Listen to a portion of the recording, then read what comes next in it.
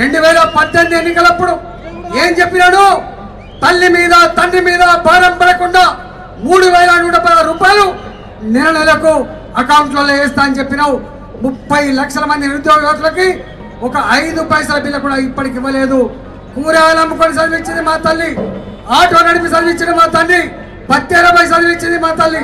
నేను డిమాండ్ చేస్తా ఉన్నా ఈ నాలుగు సంవత్సరాల కాలంలో దాదాపు లక్ష యాభై వేల రూపాయలు నిరుద్యోగ భృతి కింద ముప్పై లక్షల మంది విద్యార్థులకు ఇవ్వాల్సిన అక్కడ ఉండే ఇవ్వలేదు ఇవ్వలేదు. ఇప్పటికైనా నేను డిమాండ్ చేస్తా ఉన్నా. నిరుద్యోగ భృతిని విడుదల చేయమని చెప్పి డిమాండ్ చేస్తా ఉన్నా. పాత బకాయి రిలీజ్ చేయమని చెప్పి డిమాండ్ చేస్తా ఉన్నా. ఈ ఈ నౌకరి ఈ నౌకరి కోసం ఏ విద్యార్థి అయితే లక్షలాది రూపాయలు ఆ ఇన్స్టిట్యూషన్లకు తగలబెట్టిండో ప్రతి విద్యార్థికి లక్ష రూపాయల చొప్పున మీరు వెంటనే చెల్లించాలని చెప్పి కూడా మేము డిమాండ్ చేస్తా ఉన్నా. నేను మీ అందరికీ ఒకటే రిక్వెస్ట్ చేస్తా ఉన్నా. ఈ ఉద్యమం ఆగిపోయేది కాదు. కేసీఆర్ ఫీజు పీకేంత వరకు కేసీఆర్ గడ్డ మీద ఓడిగొట్టేంత వరకు కులాలతో సంబంధం లేదు మతాలతో సంబంధం లేదు పార్టీతో సంబంధం లేదు.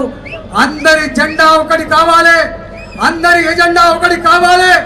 ఈ దోపిడీ ప్రభుత్వాన్ని ఈ పోలీసు రాజ్యాన్ని నిరుద్యోగ పోకడల్ని గద్దె దించేంత వరకు పాతరేసేంత వరకు విద్యార్థి లోకం కానీ యువకులు కానీ నిద్రపోకుండా కథం కథం తప్పుతో ముందుకు పోదామని భారతీయ జనతా పార్టీ కేసులకు భయపడేది కాదు.